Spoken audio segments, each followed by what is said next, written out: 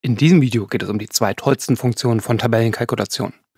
Die eine ist das automatische Auffüllen von Werten. Habe ich nun zum Beispiel eine Liste, die mit 1 und 2 beginnt. Wenn ich nun die beiden Zellen markiere und mit der Maus auf dieses kleine Kästchen unten rechts gehe, dass sich der Mauszeiger ändert und mit der gedrückten linken Maustaste die Maus nach unten verlängere, werden die Werte in den darunter folgenden Zellen automatisch aufgefüllt. Häufig funktioniert das auch so, wenn ich symmetrische Abstände habe, zum Beispiel von der 1 zur 3, dann wäre nun das nächste die 5 und so weiter.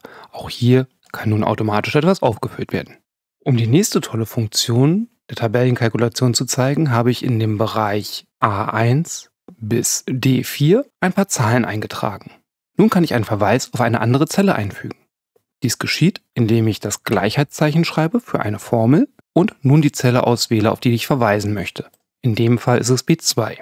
Der eigentliche Zelleninhalt ist immer noch die Formel gleich B2. Angezeigt wird allerdings der Wert, der in der verwiesenen Zelle steht, in dem Fall die 6. Der Clou ist nun, wenn ich diese Formel weiter kopiere, indem ich das Autoauffüllen benutze, also unten rechts in der Ecke auf das Quadrat klicke und nach unten ziehe mit der gerückten Maustaste, dann verändert sich der Bezug. Wir haben also einen relativen Bezug. Ich bin ein Feld hier nach unten gewandert und man sieht auch die Formel. Hier steht nun gleich B3 drin. Hätte ich das Ganze noch eins weiter runtergezogen, würde hier die Formel B4 stehen.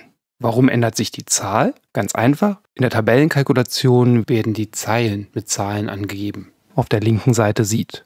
Die Zahlen werden nach unten größer, also wird die Zahl größer, wenn ich die Zellen nach unten kopiere.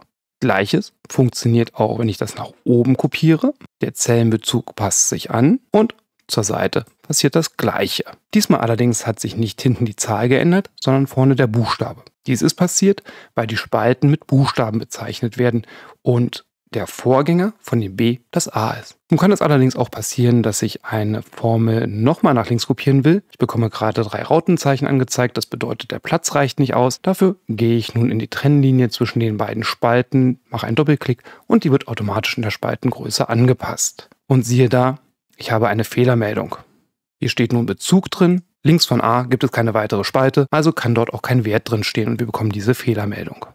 Diese Zellbezüge kann ich nun auch nutzen, um damit zu rechnen. Würde ich nun eine Formel starten, zum Beispiel mit gleich b1 plus c1, erhalte ich ein Resultat. Und wird diese Formel nach unten kopiert, ändern sich automatisch die Bezüge. Jetzt wird b2 mit c2 addiert. Auch hier könnte ich das Ganze nach rechts verschieben. Hier wäre es nun so, dass c2 mit d2 addiert wird.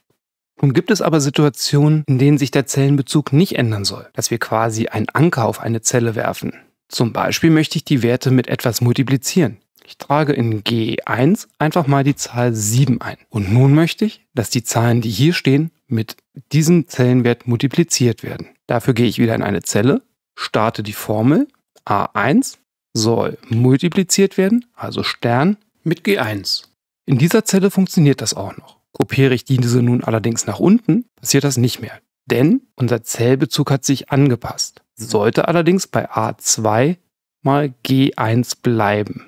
Um das zu realisieren, muss ich einen absoluten Bezug einfügen. Beim absoluten Bezug ändert sich der Verweis nicht, wenn die Formel kopiert wird. Dies geschieht, indem ich vor die Spalte, also den Buchstaben, das Dollarzeichen schreibe und auch vor die Zeile, also der Zahl, das Dollarzeichen schreibe. Kopiere ich nun die Formel in die darunterliegenden Zeilen, ändert sich der Bezug nicht. Wir schauen mal in die Zelle A8 rein und sehen, dass immer noch die Multiplikation mit G1 erfolgt. Das Ganze kann auch etwas einfacher gestaltet werden, indem ich hier zum Beispiel die Werte, die in der Spalte B sind, durch den Wert in G7 dividieren möchte mit dem Slash. Nun habe ich die Möglichkeit mit der Taste F4 den Bezug umzuschalten, von dem relativen Bezug auf den absoluten. Dann werden die Dollarzeichen automatisch eingefügt. Sollte ich jetzt wiederholt auf die F4-Taste drücken, ändert sich der Bezug zu einem gemischten Bezug. Hier ist es nun so, das Dollarzeichen steht vor der Zahl, bedeutet also, die Zeile bleibt beim Kopieren gleich. Habe ich nochmal die F4-Taste gedrückt, ist das Dollarzeichen vor das G gewandert, also vor die Spalte und beim Kopieren bleibt die Spalte gleich. Drücke ich nochmal F4, haben wir wieder den relativen Bezug. Aber ich wollte ja den absoluten Bezug haben und kann jetzt hier auch die Formel wieder kopieren. Das waren die aus meiner Sicht elementarsten und wichtigsten Funktionen der Tabellenkalkulation. Wie man diese anwendet, kann man hier in meiner kleinen Playlist zu den Übungsaufgaben sehen. Oder gleich zu der Frage, wie viele Freiwillige brauche ich denn, um den Schulflohmarkt zu organisieren?